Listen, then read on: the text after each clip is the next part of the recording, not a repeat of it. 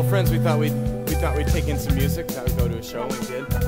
And on the way there, I was saying, you know, this is gonna be a lot of fun, but geez, you know, I kind of want a little gentle pick me up if we if we're gonna really enjoy some good music. I said, well, why don't you take a little bit of this? I said, okay, what is it? I said, don't worry about what it is, just take it, and you're gonna enjoy yourself. I said, okay, so I did. And so I found out that uh, you know everything was going along smoothly. We were going in, taking in some music, and it was mellow, and it was good, and and I was listening. I find out that maybe my reality isn't the reality of everyone else around here. I've had some gentle thoughts about that, but that's just what you do when you're a philosopher. I thought maybe maybe this is going to get a little out of control. I thought that's okay because you know I've, I've gotten out of control before, but we're going to go with it. So. Uh, when I found that maybe that maybe that the walls weren't just being stable, maybe they were moving, and maybe that the sounds that I was seeing is something that doesn't happen normally, that maybe my reality was really out of whack with everyone else's reality. So I thought that maybe it's something that much. Your brain is toast.